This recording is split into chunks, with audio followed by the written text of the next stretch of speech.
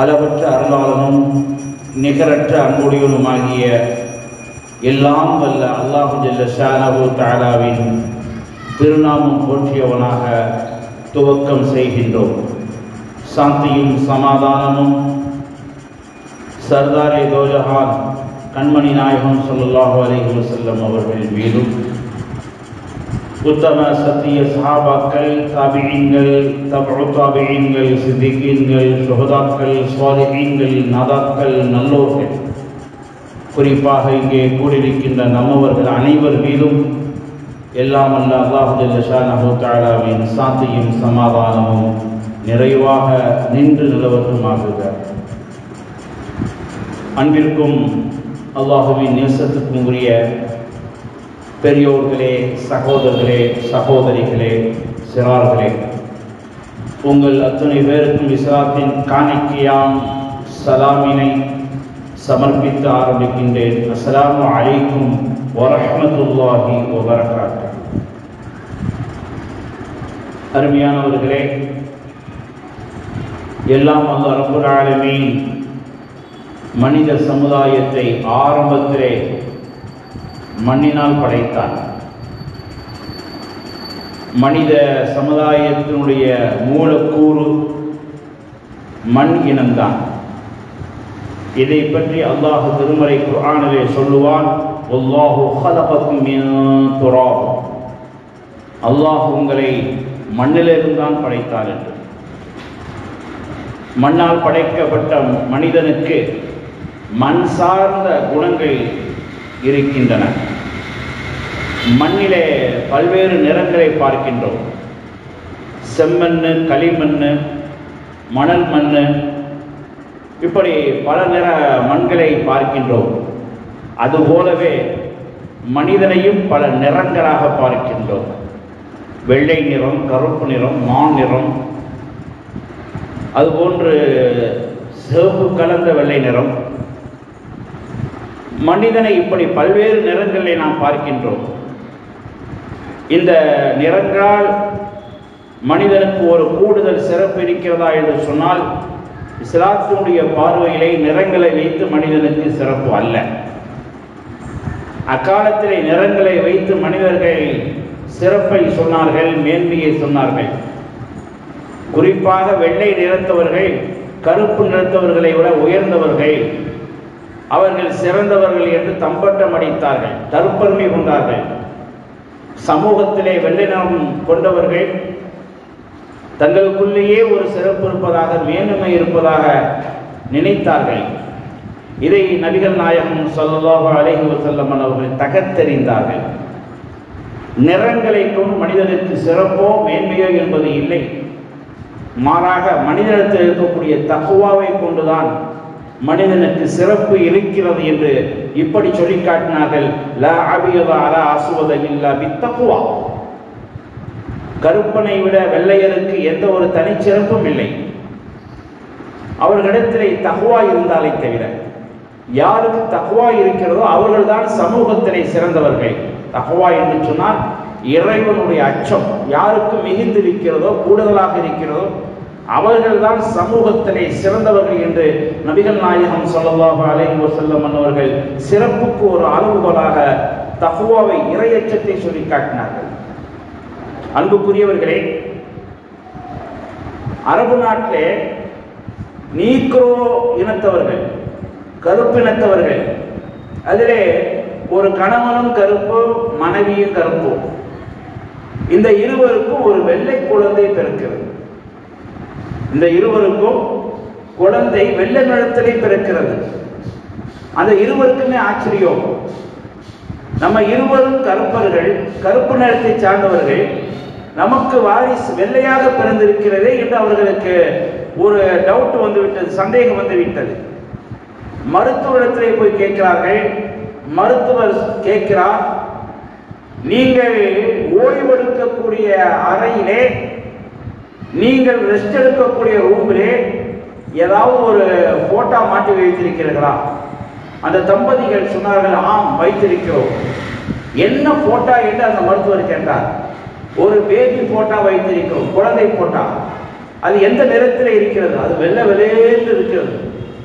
அப்படியானால் அந்த குழந்தையை நீங்கள் பார்க்கும் போதெல்லாம் இது மாதிரி ஒரு குழந்தை வேணும் என்று மனசில் நினைச்சிருப்பீங்க. ஆண்டவனிடத்திலே பிரார்த்தனை செஞ்சிருப்பீங்க. இது மாதிரி குழந்தை வேணும் வேணும் சொல்லி உங்களுடைய அந்த நினைப்பும் உங்களுடைய பிரார்த்தனையும் அந்த எண்ணத்திலையும் அந்த பிரார்த்தனையும் நீங்கள் இருந்த காரணத்தினால் உங்களுடைய குழந்தை வெள்ளை நிறத்திலே பிறந்திருக்கிறது என்று அந்த மருத்துவர் சொல்லி காட்டுகிறார்.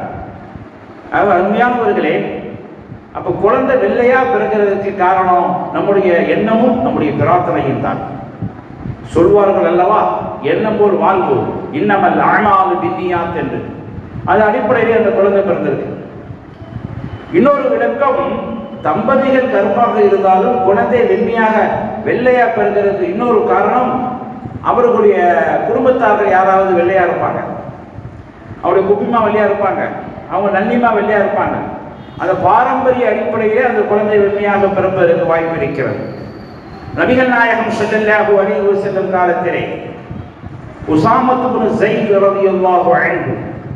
அவங்க கருப்பன் அவங்க வந்து கருப்பன் அவங்களுக்கு வந்து வெள்ள வெளியேன்னு ஒரு ஆண் குழந்தை பிறக்குது. அப்போ அவங்களுக்கு வந்து என்ன ஆயிடுச்சு ஒரு சந்தேகம் வந்துடுச்சு என்னடா குழந்தை வெள்ளையா பிறந்திருக்கேன்னு. மிகவும் மன வருத்தத்தோடையே வாழ்ந்து கொண்டிருக்கிறார்கள். ஒரு நாள் உசாமா ரலிலா அன்பு அவர்களும் அவருடைய மகனாரும் ஒரு போர்வையை பொத்தி தூங்கிக் கொண்டிருக்கிறார்கள். இரண்டு பேர்களுடைய தந்தை மகனுடைய இரண்டு பேருடைய கால்களும் வெளியே தெரிகிறது. அந்த பகுதியிலே செல்லக்கூடிய அந்த வழியிலே செல்லக்கூடிய ஒரு முதியவர் ஒரு முதியவர் சொல்கின்றார் என்ன அப்பாவும் மகனும் படுத்திருக்க மாதிரி தெரியுது. சிலருடைய கால சிலருக்கு ஒப்பாக இருக்கிறது என்று சொல்லிக்கொண்டே செல்கிறார். இதை கேட்ட உஷாமா அவர்கள் சந்தோஷம் அடைந்தவர்களாக மகிழ்ச்சி அடைந்தவர்களாக இறைத்துவர் முகமது ஸல்லல்லாஹு அழைப்பு வஸல்லம் அவர்களிடத்திலே போய் சொல்கிறார்கள் என்னுடைய இந்த குழந்தை எனக்குத்தான் பிறந்தது. என்பதை நான் உறுதியாக அறிந்து கொண்டேன் என்று சொல்கின்றார்கள் மகிழ்ச்சி அடைகின்றார்கள். இப்ப நடைமுறையில கூட நம்ம சொல்றோம் ஒரு பையனை பார்த்தேன். ஒப்ப மாதிரியே நடக்கிறியடா. ஒப்ப மாதிரியே பேசுறியடா அப்படி நம்ம சொல்றோம். ஆக ஒப்பிட்டு பேசுவது என்பது இந்த காலத்திலையும் இருக்கிறது. நிறங்களை வைத்து மனிதர்களை பிரித்து பார்க்க முடியாது. மாறாக அவருடைய உடல் அமைப்புகளை வைத்து முக சாயலை வைத்து பேச்சினுடைய போக்கை கொண்டு அவருடைய நடையினுடைய போக்கை வைத்து இந்த பிள்ளை இன்னவருக்குரியது என்று நாம் கண்டுபிடித்து விடலாம். ஆக அருமையானவர்களே எப்படி மண்கள் பல நிறங்களிலே இருக்கிறதோ அதுபோல மனிதர்களும் பல நிறத்திலே இருக்கிறார்கள்.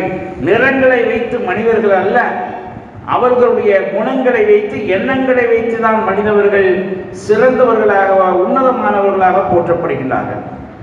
அடுத்தபடியாக சில மண்கள் கெட்டியாக இருக்கும் சில மண்கள் லேசாக இருக்கும். இது போலதான் சில மனிதர்களுடைய இதயம் கெட்டியாக இருக்கும் சில மனிதர்களுடைய இதயம் இலகுவாக இருக்கும். மனிதர்களுடைய இதயங்கள் இதயமாகுவதற்காக வேண்டித்தான் பெண்மணிகள் குழந்தையை கர்ப்பமாக வைத்திருக்கக்கூடிய காலத்திலே. பெண்கள் அவர்கள் கர்ப்ப காலத்திலே அவர்களுடைய குழந்தைகள் மென்மையான இதத்தை இதயத்தை பெற வேண்டும் இளைய உள்ளத்தை பெற வேண்டும் என்பதற்காக வேண்டித்தான் மருத்துவர்கள் சொல்கிறார்கள் பெண்களே நீங்கள் கர்ப்பமான காலத்திலே நல்ல விஷயங்களை கேளுங்கள். நல்ல புத்தகங்களை படியுங்கள். மிகவும் கொடூரமான மிகவும் கோபமான நிகழ்ச்சிகளை பார்க்காதீர்கள். குறிப்பாக டிவி பார்க்காதீர்கள் என்று அந்த கர்ப்பமான பெண்களிடத்திலே ஆலோசனை கூறுவார்கள். இன்றைக்கு இஸ்ரேல் நாடு என்று ஒரு நாடு இருக்கிறது. அந்த நாடு தான் டிவியை கண்டுபிடிச்சது கம்ப்யூட்டரை கண்டுபிடிச்சது. அப்படிப்பட்ட அந்த இஸ்ரேல் நாட்டுக்காரர்கள் தங்களுடைய தாய்மார்கள் கருவுற்ற காலத்திலே டிவி பார்க்கக்கூடாது அதே போன்று கம்ப்யூட்டர் பார்க்கக்கூடாது என்றெல்லாம் அவர்கள் தடை விதித்திருக்கிறார்கள்.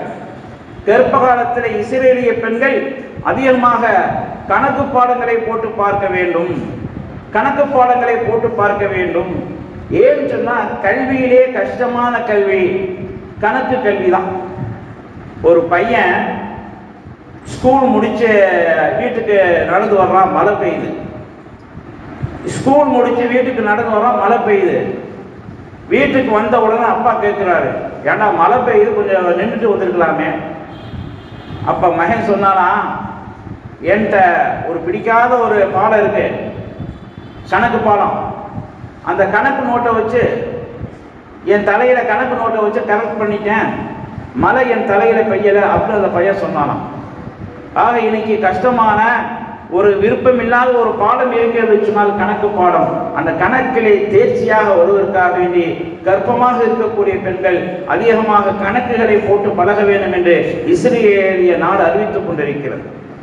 ஆக அருமையானவர்களே இப்போ மனதிலே இலகுவானவைகள் பதிய வேண்டும் என்று சொன்னால் நல்லவைகள் பதிய வேண்டும் என்று சொன்னால் கரு கருவறையிலிருந்தே அந்த குழந்தைகளுக்கு தர்பிய செய்ய வேண்டும் பயிற்சி கொடுக்க வேண்டும் என்று இதிலிருந்து நாம் தெரிந்து கொள்கின்றோம்.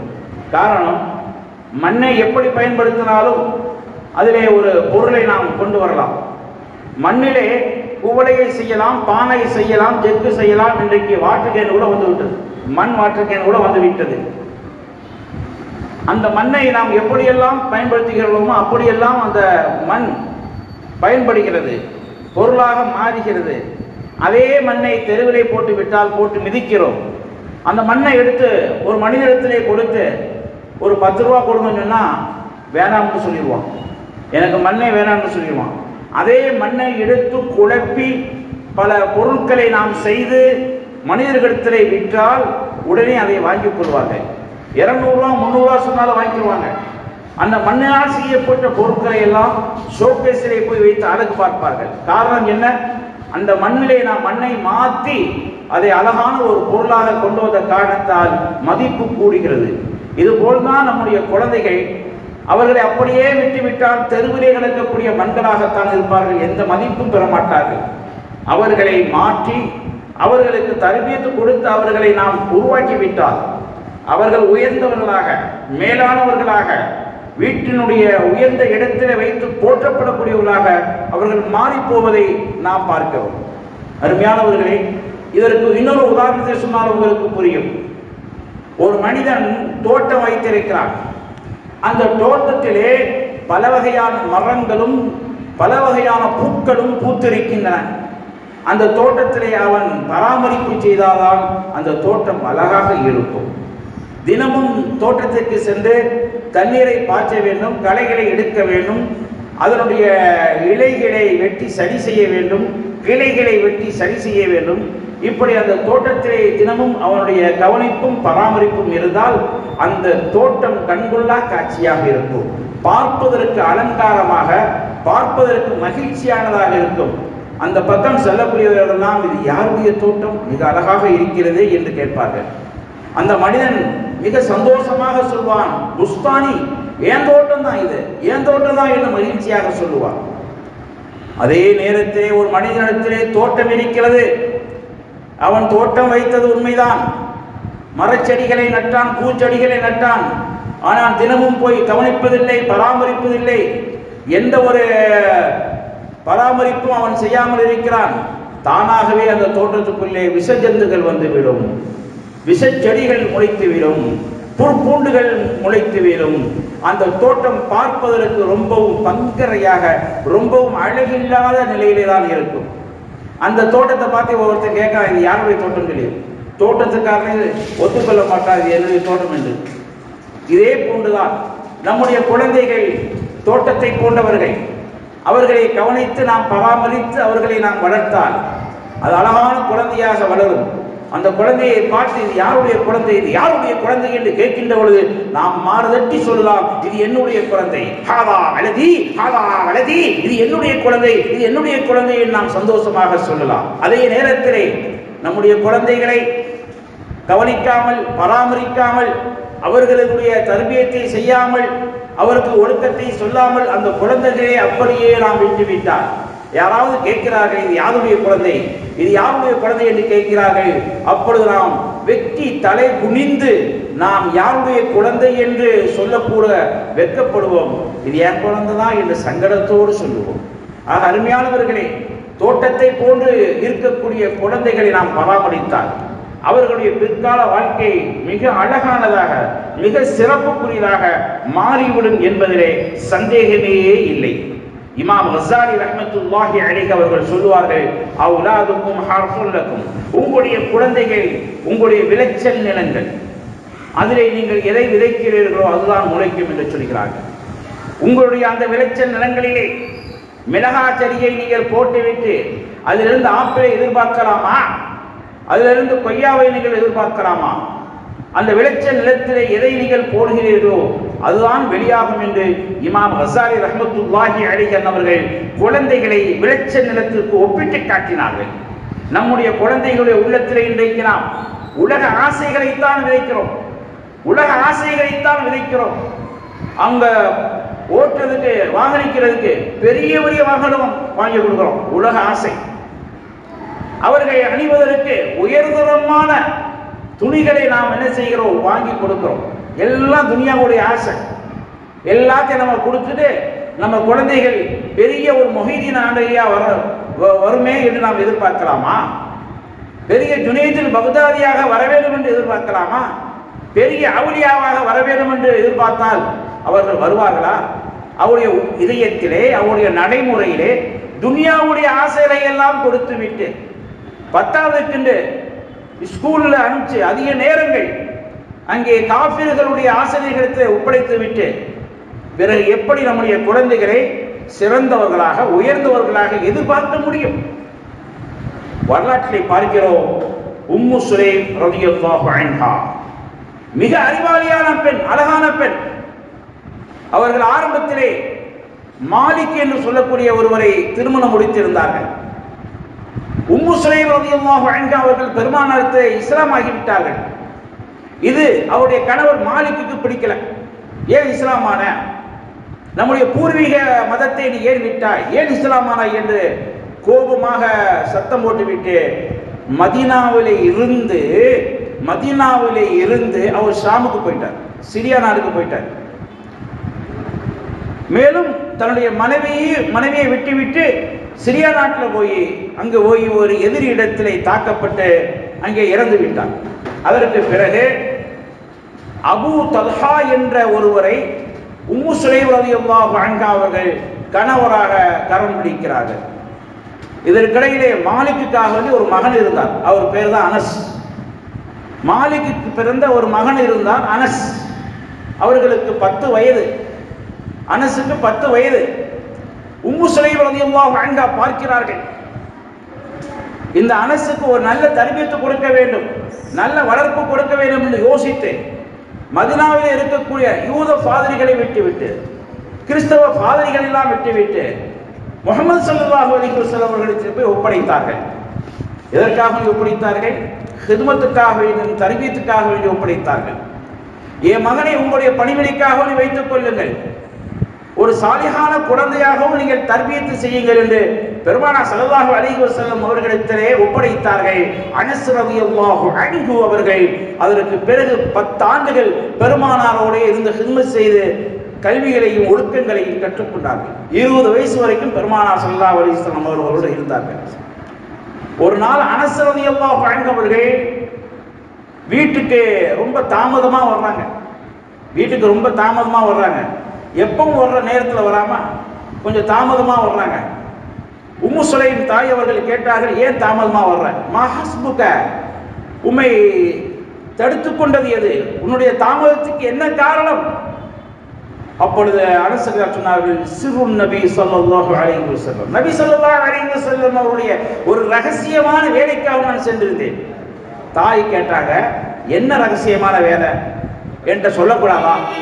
என்ன ரகசியமான வேலை என்று சொல்லக்கூடாதா?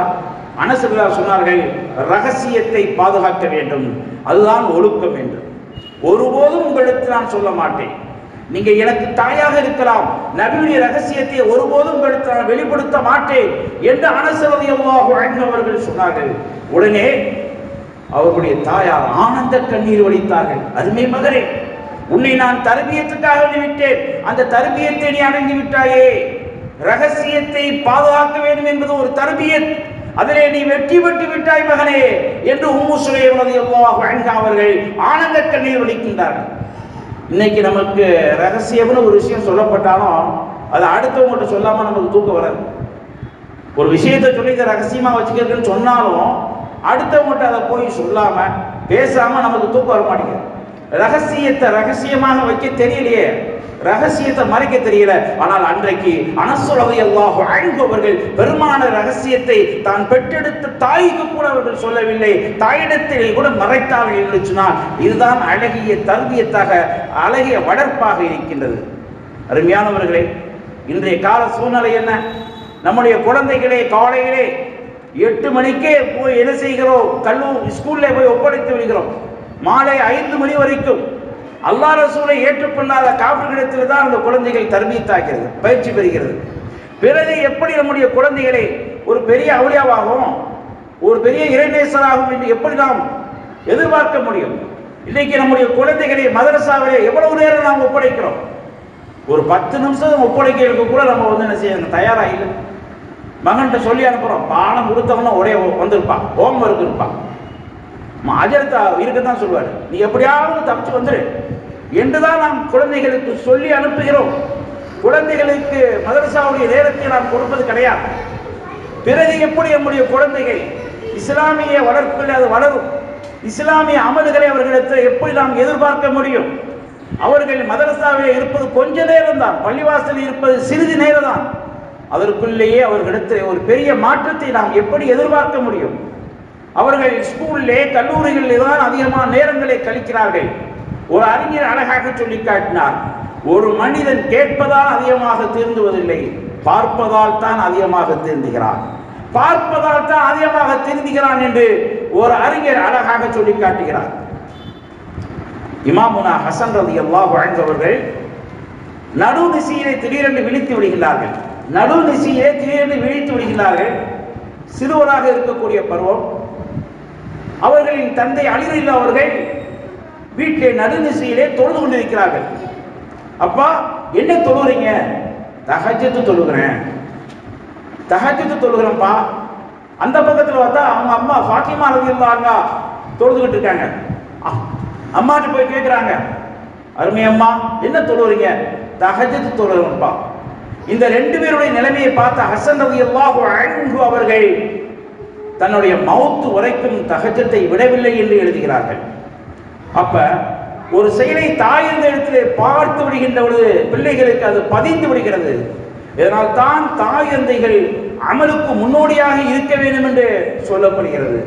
அருமையானவர்களே இமாமுனா ஷாஃபி ரஹமத்துல்லாஹி அழகி அண்ணனுடைய வாழ்க்கையை எடுத்துக்கொள்ளுங்கள் அவர்கள் மிஸ்ரு தேசத்திலே பிறந்தார்கள். மிஸ்ரு தேசத்திலே இன்றைக்கும் ஷாஃபி ரஹமத்துல்லாஹி அழகி அவருடைய பெயர் விளங்கி கொண்டிருக்கிறது பிரபலியமாயிருக்கு எந்த குழந்தை பிறந்தாலும் ஷாஃபின்னு அதில் சேர்த்து வைப்பாங்க அப்பாசு ஷாஃபி அப்துல்லா ஷாஃபி. கடைக்கு பேர் வச்சாலும் அந்த கடையில கடைசியில ஷாஃபின்னு சொல்லி சேர்த்து வைப்பாங்க அந்த அளவுக்கு அவர்கள் மீது முகப்பத்து கொண்டிருந்தார்கள் பிரியம் கொண்டிருந்தார்கள். அந்த இமாமுனா ஷாஃபி ரஹமத்துல்லாஹி அலைஹி அவர்கள் உலகத்திலே பிறக்கின்ற பொழுது தந்தை இல்லாத ஒரு எத்தியமாக பிறந்தார்கள். தந்தை இல்லாத ஒரு அனாதையாக பிறந்தார்கள். அவருடைய தாயார் ஆலியா. அவருடைய தாயார் ஆலியா அவர்கள் இமாமுனா ஷாஃபி ரஹ்மத்துல்லாஹி அழகி அன்னவர்களை கண்ணும் கருத்துமாக தருமை செய்தார்கள் வளர்த்தார்கள். போய் மதரசால விட்டுட்டாங்க. விட்டா எல்லா மாணவர்களும் பேனா பென்சில் பேப்பர்லாம் வச்சிருக்காங்க. இமாமுனா ஷாஃபி ரஹ்மத்துல்லாஹி அழகி அந்த சிறுவடத்திலே மட்டும் எதுவும் இல்லை. ஆசிரியர்கள் சொல்கிறார்கள் நாளை வரும்போது பேப்பர் வாங்கிட்டு வர வேண்டும் என்று தாயாரிடத்தில் வந்து கேட்கிறார்கள் நாளைக்கு பேப்பர் வேணும். என்னுடைய உஸ்தாத் பேப்பர் கேட்டிருக்கிறார்கள். தாயார் சொல்கிறார்கள் அப்படியா மகனே நீ வருங்காலத்தில் பெரிய இமாமா வருவ. நீ வருங்காலத்தில் பெரிய இமாமா வருவ. உனக்கு பேப்பர் வேணுமா? நீ மதரசாவுக்கு போ நான் பேப்பர் கொண்டு வரேன் சொல்லி சொல்லி அனுப்புகிறார்கள். பிறகு ஒரு காட்டுக்குள்ளே சென்று காய்ந்த விறகுகளை காய்ந்த இலைகளை எல்லாம் பொறுக்கி எடுத்து அதை கொண்டு வந்து கடைத்தெருவிலே விற்று பேப்பர் வாங்கி அதை போய் தன் மகனிடத்தில் போய் கொடுக்கிறார்கள். இமாமனா ஷாஃபி ரஹ்மத்துல்லாஹி அலி அவர்கள் சந்தோஷமாக அதை பெற்றுக்கொண்டு அதிலே ஆசிரியர் சொல்லக்கூடிய பாடங்களை எல்லாம் எழுதுகிறார்கள் பதிவு செய்கிறார்கள். அருமையானவர்களே இப்படி வறுமையோடு வளர்ந்தவர்கள் தான் இமாமுனா ஷாஃபி ரஹ்மத்துல்லாஹி அலி அவர்கள். பிற்காலத்துல தாயினுடைய துவா படிச்சிருச்சு இமாம் ஷாஃபி ரஹமத்துல்லா அவர்கள் பதினேழு வயது இருக்கும்போது ஹரமுடைய இமாமாக நியமிக்கப்படுகிறார்கள். பதினேழு வயசுல ஹரமுனி இமாம் என்பது உலக வரலாற்றிலே இமாம் ஷாஃபி ரஹமத்துல்லாஹி அலி அவர்கள் தான் இன்றைக்கு காபாவிலே மிக பிரபல்யமாக இருக்கக்கூடிய பெரிய இமாம் அப்துல் ரஹ்மான் சுதேசி ரஹமத்துல்லாஹி அலி அப்துல் ரஹ்மான் சுதேசி அல்லாவுடைய ஹயாத்தி நிலமாக ஆக்குவார்கள் அவர்களுடைய வாழ்க்கையை மிகவும் சிறப்பாக ஆக்குவார்கள் அவர்கள் நம்மளையே வாழ்ந்து கொண்டிருக்கிறார்கள். அதனால ரஹமத்துல்லா அலின்னு சொல்லக்கூடாது. அப்துல் ரஹ்மான் சுதைசி அந்த இமாம் அவர்கள் சிறு வயதில் ரொம்ப சேட்டை பயங்கர சேட்டை. ஒரு இடத்துல கூட உட்கார மாட்டாங்க. அந்த மாதிரி ரொம்ப சேட்டை பண்ணாங்க. ஒரு நாள் என்ன செஞ்சாங்க? சாப்பாட்டிலே மண்ணை போட்டு விட்டாங்க. சாப்பிட்ற சாப்பாட்டிலே மண்ணள்ளி போட்டாங்க. தாயாருக்கு கோவம் வந்துச்சுப்பார் தாயாருக்கு கோபம் வந்துச்சு மகனே என்ன இப்படி செய்து விட்டாய்? அல்லாஹ் உன்னை காபாவுடைய இமாமாக ஆக்கட்டும். மகனே என்ன இப்படி செய்து விட்டாய்? சோத்துல மண்ணை போட்டியே.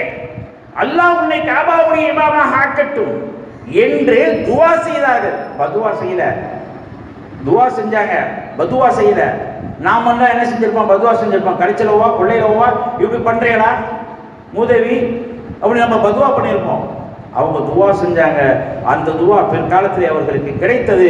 இன்றைக்கு காபாவிலே இருக்கக்கூடிய பதினோரு இமாம்களிலே மிக சிறந்த இமாமாக மக்களுடைய இதயங்களை ஈர்த்த இமாமாக எப்படா இந்த சுதேசி இமாவை தொழுவிக்கு வருவாரு? தொலை வைப்பாரு என்று இயங்கக்கூடிய அளவுக்கு அவருடைய கிரா உலக மக்கள் எல்லாம் போய் சேர்ந்திருக்கிறது. சொல்ல போனால் காபாவை உலக மக்கள் எல்லாம் போய் கொண்டு சேர்த்தவர்கள் அப்துல் ரஹ்மான் சுதேசி அல்லாஹுடைய ஆயுளை நீளமாக்கி வைப்பாராங்க அப்ப தாயின் துவா கிடைச்சிச்சா இல்லையா? அவருடைய அழகான தர்பியத்து. அந்த காலத்துலலாம் பிள்ளைகளை திட்டும்போது பெருசா திட்டுவாங்க. நல்லதாக திட்டுவாங்க. இப்போ உடம்பெல்லாம் அறிவோ? நீ பெரிய அறிவாளியோ? ஆ? ராஜாவா? இப்படியெல்லாம் பெருசாத்தையும் திட்டுவாங்க. இன்னைக்கு நேரடியாக திட்டுறாங்க. ஏன்னா ஏன்னா உனக்கு உடம்பெல்லாம் வந்து கிருமினாரா உடம்பெல்லாம் நான் குற்றவியலா? ஆ? அட சனியனே அட லூசே இப்படிதான் பிள்ளைகளை நம்ம திட்டுறோம் மைனஸாக திட்டுறோம் அது சில நேரங்களில் துவா கபூலாகக்கூடிய நேரமாக இருந்தால் அந்த குழந்தைகள் பாதிக்கப்படுகிறார்கள். இதனால் தான் எம்பெருமானா சல்லல்லாஹு அலைஹி வஸல்லம் அவர்கள் சொன்னார்கள் லா ததுஉ அலா அவுலாதிக்கும். உங்களுடைய குழந்தைகளுக்கு எதிராக நீங்கள் துவா செய்யாதீர்கள். குழந்தைகளுக்கு சாதகமாகவே நீங்கள் பேசுங்கள். குழந்தைகளுக்கு பாதகமாக நீங்கள் பேசி விடாதீர்கள் என்று எம்பெருமானார் ஸல்லல்லாஹு அலைஹி வஸல்லம் அவர்கள் எச்சரிக்கிறார்கள். ஆக அருமையானவர்களே நம்முடைய குழந்தைகளை மிக சிறப்பாக நாம் வளர்க்க வேண்டும். சூரத்து ஷுராவுடைய கடைசி ஐந்தில் அல்லாஹ் சொல்கிறார் வழிபாது ரஹ்மான். ரஹ்மானுடைய அடியார்கள் இப்படி இப்படி இருப்பார்கள் என்று சொல்லிவிட்டு இறுதியாக அல்லாஹு தாலா நம்முடைய குழந்தைகளையும் குடும்பங்களையும் பற்றி ஒரு பிரார்த்தனையை கற்றுக் கொடுக்கிறார். ரப்பனா ஹப் மின் அஸ்வாஜினா வ துர்ரியாத்தினா குர்ரத அயுனி வ ஜஅல்னா லில் முத்தகீன இமாமா. எங்களுடைய இரட்சகா எங்களுக்கு மனைவிமார்கள் இருந்தும் எங்களுடைய பிள்ளைகள் இருந்தும் எங்களுக்கு கண்குளிர்ச்சியை கொடுப்பாயாக. எங்களுடைய கண்குளிர்ச்சியை கொடுப்பாயாக. நாளில் முத்தகையில இமாமா. இன்னும் நல்லோர்களுக்கு முன்னோடிகளாக எங்களை ஆக்கி விடுவாயாக. என்று அல்லாஹு தாரா அந்த வசனத்திலே சொல்லி காட்டுவார் ஆக நம்முடைய குழந்தைகள் ஒரு முன்னோடி குழந்தைகளாக ஒரு முன்மாதிரி குழந்தைகளாக மாற வேண்டும் என்று சொன்னால் நாம் இது போன்ற பிரார்த்தனையை அதிகம் அதிகமாக செய்யணும் என்ன பிரார்த்தனைங்க ربنا هب لنا من ازواجنا وذرياتنا قرة اعين وجعلنا للمتقين اماما இந்த துவாவை நாம் அனைவரும் மனம் செய்து கொள்ளலாமா இன்ஷா அல்லாஹ் சொல்றேன் எல்லாம் மனம் செய்யுங்க நபிகள் நாயகம் சல்லுல்லாஹு அலைஹி வஸல்லம் அன்னவர்கள் சொல்கிறார்கள் இன்னல் வலத மபுஹலத்தும் வ மஜ்பனத்தும் வ மஜ்ஹலத்துன் வ மஹ்ஸனத்துன் சஹீஹுல் ஜாமி. நிச்சயமாக குழந்தைகள் ஒரு மனிதனை கஞ்சனாக ஆக்கி விடுகிறது ஒரு மனிதனை கோழையாக மாற்றி விடுகிறது ஒரு மனிதனை அறியாமையிலே ஆக்கி விடுகிறது ஒரு மனிதனை கவலையிலே மாற்றி விடுகிறது. குழந்தையினால நமக்கு என்னென்ன பாதிப்புங்க? நமக்கு தானாக கஞ்சத்தனம் வந்துடுது நம்ம பிள்ளைக்கு வேணுமே பிள்ளைக்கு வேணும்னு சொல்லி நல்ல காரியத்தை கூட கொடுக்க மாட்டேங்கிறோம். கஞ்சத்தனம் வருது. இரண்டாவது கோழைத்தனம் வருது. ஒரு போராட்ட களத்துக்கு போக மாட்டேங்கிறோம். வீரமெல்லாம் போயிடுது கோலத்தனம் வந்துடுது நம்மளை நம்பி குழந்தை இருக்குன்னு சொல்லிட்டு. அடுத்து நம்மகிட்ட வந்து ஜகாலத்து வருது. அறியாம வருது. கல்வியை தேடி எங்கேயும் போறதில்ல. குழந்தைகளை பார்க்கணும் குழந்தைகளை பார்க்கணும்னு சொல்லி கல்வியை தேடி எந்த மஜ்லிஸுக்கும் போறதில்ல. வெளியூருக்கு கூட போகிறதில்ல நாலாவது குழந்தை இருக்கே அப்படின்னு நமக்கு கவலை வந்துடுது இந்த குழந்தைகளை சரியாக பராமரிக்க வேண்டுமே என்ற குழந்தையுடைய கவலைகளையே நாம் அதிகமாக சம்பாதிக்கிறோம். ஒரு தந்தை இடத்துல நீங்க யாருக்காக சம்பாதிக்கிறேன்னு கேட்டா கூட என் பிள்ளைகளுக்கு தான் நான் சம்பாதிக்கிறேன்னு சொல்கிறேன் அவ பிள்ளைகளுடைய கவலை ஒரு மனிதனை பாடாப்படுத்திக் கொண்டிருக்கிறது நாம் பார்க்கிறோம். எனவே அருமையானவர்களே குழந்தைகளுக்காக வேண்டி நாம் என்ன செய்ய வேண்டும்? வாழ வேண்டும். உலமாக்கள் சொல்கிறார்கள் பெற்றோர்கள் நல்ல அமல்கள் செய்தால் அந்த அந்த அமல்கள் பிள்ளைகளுக்கும் தாவி செல்லும். பிள்ளைகளுக்கும் அந்த தானாக ஊடுருவி செல்லும் என்று உலமாக்கள் சொல்லி இருக்கிறார்கள் இப்னு மஸ்ஊத் ரலியல்லாஹு அன்ஹு அவர்கள் தகஜத்து தொழுதுகிட்டு இருக்காங்க. அவங்க சிறிய பையன் எழுந்துட்டார். என்ன தொழுவுறீங்கன்னு கேட்டோம்னா நீ அஜலிக்க யா புனைய உசல்லி நீ அஜலிக்க யா புனைய உசல்லி மகனே உனக்காக தான் நான் தொழுகிறேன்னு சொன்னாங்க. எப்படி? இந்த தொழுகையை நீ பார்க்கின்ற பொழுது பிற்காலத்தில் நீயும் தொழு எங்க அப்பா தொழுதாரு இரவுல அப்படின்ட்டு. அப்ப உனக்கு இந்த பழக்கம் வருவதற்காக நான் தொழுகிறேன் என்று இவர் மஸ்ரூத் எவ்வா வழங்கவர்கள் அவர்கள் சொல்லி காட்டினார்கள். அருமையானவர்களே நாம் நல்ல அமல்கள் செய்தால் அல்லாஹ் நம்முடைய பிள்ளைகளை பாதுகாப்பார். நாம் நற்காரியங்கள் செய்தால் அல்லாஹ் நம்முடைய பிள்ளைகளுடைய பொருட்களை பாதுகாப்பான் பிள்ளைகளுடைய சொத்துக்களை பாதுகாப்பான். சூரத்தில் கஹ்ஃபிலே அதற்கு ஒரு ஆதாரம் இருக்கிறது.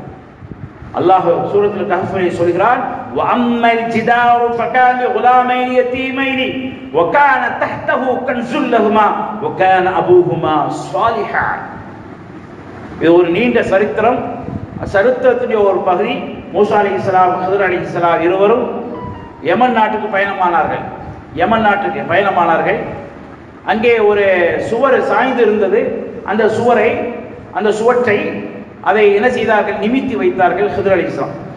மூசா அலி இஸ்லாம் தடுத்தாங்க. இந்த ஊருக்காரங்க நம்ம ரெண்டு பேத்துக்கு சாப்பாடு கூட கொடுக்கல. இவங்களுக்கு போய் நீங்கள் உதவி செய்றீங்களே.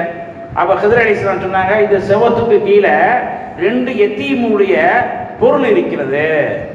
வக்கான தஹ்தஹு கன்சுல்லகுமா இந்த ரெண்டு சு ரெண்டு எத்தீம்கள் இந்த சுவத்துக்கு கீழே ரெண்டு எத்தீமுடைய பொக்கிஷம் இருக்கிறது பொருள் இருக்கிறது. இந்த இருவருடைய தந்தையும் சாலிஹா. அந்த தந்தை நல்லவராக இருந்தார் நல்லமல் செய்யக்கூடியவராக இருந்தார் என்று சுதர் அலி இஸ்லாம் அவர்கள் சொல்லி காட்டினார். அப்ப தந்தை நல்லமல் செஞ்சதுனால அந்த குழந்தைகளுடைய பொருள்கள் பாதுகாக்கப்பட்டது என்று குரானிலே அல்லாஹு தாலா சொல்லி காட்டியிருக்காங்க என்று சொன்னால் நம்ம நல்லவங்களா இருந்தா நம்முடைய குழந்தைகள் பிற்காலத்திலே பாதுகாப்போடு இருப்பார்கள் மிகவும் ஒரு ஆதரவோடு இருப்பார்கள் என்று இந்த சம்பவத்தின் மூலமாக நாம் தெரிந்து கொள்கின்றோம். அருமையானவர்களே ஒரு பெரியார் இடத்திலே ஒரு மனிதர் வருகிறார். சொல்கிறார் எனக்கு இரண்டு ஆண்மகன்கள் எனக்கு இரண்டு ஆண்மகன்கள். அந்த இருவரும் எப்படி அந்த இருவரும் எப்படி ஆக வேண்டும் என்று சொன்னால் ஒருவர் ஹசனை போன்று ஆக வேண்டும் இன்னொருவர் ஹுசைனை போன்று ஆக வேண்டும் என்று. அதற்கு நான் என்ன செய்ய வேண்டும்? அதற்கு நான் எப்படி நடந்து கொள்ள வேண்டும்? அப்படி அந்த பெரியார் அவர்கள் சொன்னார்கள் நீங்கள் அழியாக மாற வேண்டும் உங்களுடைய மனைவி சாத்தியமாக மாற வேண்டும். அப்படி இருவரும் மாறிவிட்டால் உங்களுடைய இரு ஆண்மகன்களும் ஹசன் ஹசியனாக மாறி விடுவார்கள் என்று சொல்லி காட்டினார்கள்.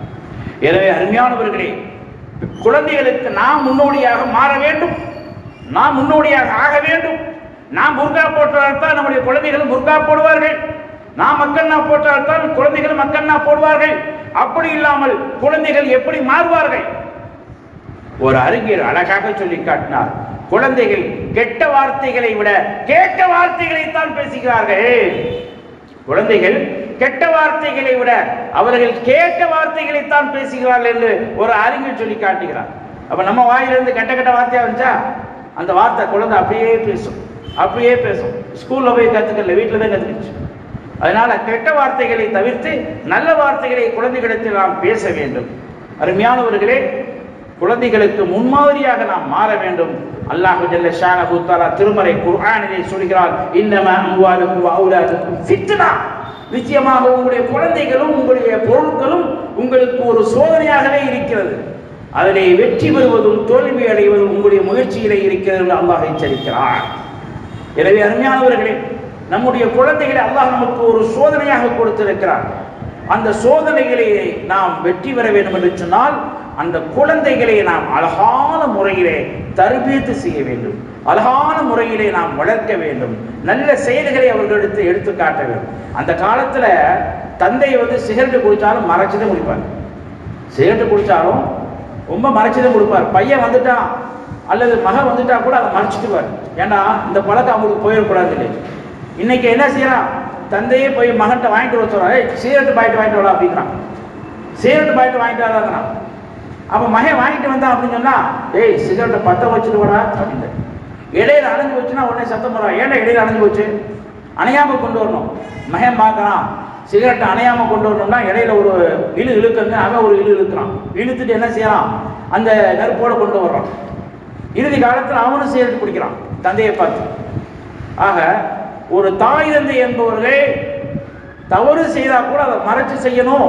அப்பதான் குழந்தைகள் அந்த தவறை செய்ய மாட்டாங்க. இன்னைக்கு எல்லாம் வந்து வெளிப்படையில செய்ததுனால தான் அந்த குழந்தைகளும் தவறுகளை வெளிரங்கமாகவே செய்ய ஆரம்பித்து விட்டார்கள். ஒரு தந்தை இடத்துல வந்து ஒரு மனிதர் சொல்றாரு உங்க பையன் சிகரெட் குடிக்கிறான் கேட்க மாட்டீங்களா? உங்க பையன் சிகரெட் குடிக்கிறான் கேட்க மாட்டீங்களா? தந்தை சொன்னாரா கேட்கிறேன் அவன் கொடுக்க மாட்டேங்கிறான் அப்படின்னு அவ பார்த்துக்கங்க எப்படி போகுதுன்னு. கேட்கிறேன் கொடுக்க மாட்டேங்கிறான்னு அப்ப தந்தை குடிச்ச சீரடை தான் அவனும் குடிச்சுக்கிட்டு இருக்கான். ஆக அருமையானவர்களே இம்பெருமானா செல்லவாக அலைஹி செல்லும் அவர்கள் சொன்னார்கள் அக்ரிமும் அவுலாதக்கும் உங்களுடைய செல்வ குழந்தைகளுக்கு சந்தையாக நடந்து கொள்ளுங்கள் சந்தையான செயலை காட்டுங்கள் என்றார்கள். இதன் அடிப்படையிலே நம்முடைய குழந்தைகள் சீராக சிறப்பாக வர வேண்டும் என்று சொன்னால் அந்த குழந்தைகளை கண்ணும் கருத்துமாக நல்ல வழிகளிலே நாம் வளர்க்க வேண்டும். அல்லாஹு ஜல்ல நமக்கு சொத்தாக கொடுத்திருக்கின்ற நமக்கு அமானிதமாக கொடுத்திருக்கின்ற அந்த குழந்தைகளுக்கு அந்த குழந்தைகளை நாம் அமானிதமாகவே வளர்க்க வேண்டும். எம்பெருமானா ஸல்லல்லாஹு வழங்கி அவர்கள் சொன்னார்கள் இன்ன அவுலாதக்கும் அமானத்தல்லக்கும் அமானத்துள்ளக்கும் நிச்சயமாக உங்களுடைய குழந்தைகள் உங்களுக்கு கொடுக்கப்பட்ட ஒரு அமானிதம். அந்த அமானியத்தை நீங்கள் பாதுகாத்துக் கொள்ளுங்கள் என்று பெருமானார் செல்லதாக அலைஹி செல்ல மன்னவர்கள் எச்சரிக்கை செய்கிறார்கள். இன்னைக்கு நாம் எத்தனையோ பேருடைய அமானிதங்களை வாங்கி நம்ம வீட்டில் வச்சிருக்கோம். ஒருத்தர் ஒரு லட்ச ரூபா அவங்கள்ட்ட அமானிதமாக கொடுத்து வச்சிருக்காரு. அவரை எவ்வளோ பாதுகாப்பாக வைக்கிறோம்? நம்ம வீட்டிலேயே உயர்தரமான இடத்துல வைக்கிறோம். அதை யாரும் எடுத்துடக்கூடாது. அதை யாரும் வீணாக்கிடக்கூடாது. இது போன்றலாம் ஒரு அமானித குழந்தை. அந்த குழந்தையை நம்ம எங்கே வச்சு பாதுகாக்கிறோம்? அந்த குழந்தையை நம்ம எப்படி பாதுகாக்கிறோம்? அது ஒரு அமானிதம் தானே? அது ஒரு அடைக்கிற பொருள் தானே? அந்த அமானியத்தை பற்றி அல்ல நான் கேமத்தினால கேட்பானே உனக்கு குழந்தைகள் கொடுத்தேனே. அந்த குழந்தைகளை நீ அழகான முறையில் பாதுகாத்தாயா? சீரான முறையில் வளர்த்தாயா என்ன? அந்த அமானியத்தை பற்றி அல்ல கேமத்தினால கேட்பான். அன்- அருமையானவர்களே குழந்தைகள்லேயே சிறந்த குழந்தை பெண் குழந்தை தான். குழந்தைகள்லேயே சிறந்த குழந்தை பெண் குழந்தை தான். உலமாக்கள் சொன்னார்கள் ஹைருல் பரக்கத்தி அன் தலித நிசா அல் பனாதி அவ்வலகா சிறந்த பரக்கத்து எது தெரியுமா? நீங்கள் பெற்றெடுக்கக்கூடிய முதலிலே பெற்றெடுக்கக்கூடிய பெண் குழந்தை தான் என்று சொல்லி காட்டினாங்க. ஆக முத முத பெண் குழந்தை பிறக்குது அப்படின்னா உன்னை கவலையாக இருக்கக்கூடாது. அது ஒரு சிறந்த பறக்க சிறந்த ஒரு மகிழ்ச்சி என்று நமக்கு சொல்லி காட்டியிருக்கிறார். அல்லாஹும் திருக்குறானை சொல்கிறான் குழந்தைகளை ஒரு அன்பளிப்பாக நான் உங்களுக்கு கொடுக்கிறேன். ஒரு ஹிபத் ஒரு அன்பளிப்பாக ஒரு கிஃப்டாக கொடுக்கிறேன் என்று சொல்லிவிட்டு அல்லாஹ் முதல் கிஃப்டாக பெண் குழந்தையே சொன்னான். எஹபுலி மேஷாவு இனாசா எஹபுலி மேஷாவு சுக்கூரா நான் நாடியவர்களுக்கு கிஃப்டாக பெண் குழந்தைகளை கொடுக்கிறோம். அடுத்தபடியாக கிஃப்டாக அன்பளிப்பாக ஆண் குழந்தைகளை கொடுக்கிறோம் என்று இரண்டாவதாக சொல்லி ஆக குழந்தைகளிலேயே மிக சிறந்தவர்கள் பெண் குழந்தைகள் தான். இதனால் தான் எம்பெருமானா சல்லாஹ் அலி வசல்லம் அவர்கள் தோழர்களிடத்திலே சொன்னார்கள் மண் ஆல தைனி மண் ஆல ஜாரியத்தைனி யாருக்கு இரண்டு பெண் குழந்தைகள் பிறந்து அதை அழகான முறையிலே வளர்த்து ஆண் குழந்தையை விட அந்த பெண் குழந்தையை தேர்ந்தெடுக்காமல் முன்னுரிமை கொடுக்காமல் யார் இருவரையும் சமமாக வளர்க்கிறார்களோ அந்த குழந்தையே நரக நரகத்தை தடுக்கும் திரையாக மாறிவிடும் என்று எம்பெருமானா சலலாக அலைஹி வஸல்லம் அவர்கள் சொல்கிறார் இந்த ஹதீஸை சொன்னவொன்னே ஒரு சகாபி எந்திரிச்சார். ஒரு பெண் குழந்தையை பெற்றெடுத்து அழகா வளர்த்தான். அது நரகத்தை தடுக்காதா? ஸல்லல்லாஹு சொன்னார்கள் ஒரு குழந்தையை பெற்றெடுத்து அதை அழகான முறையில் வளர்த்தாலும் அதுவும் நாளை மறுமையிலே உங்களை நரகத்தை தடுக்கக்கூடிய ஒரு தடுப்பாக திரையாக மாறும் என்று எம்பெருமானா ஸல்லல்லாஹு சுப செய்தி கூறினார்கள்.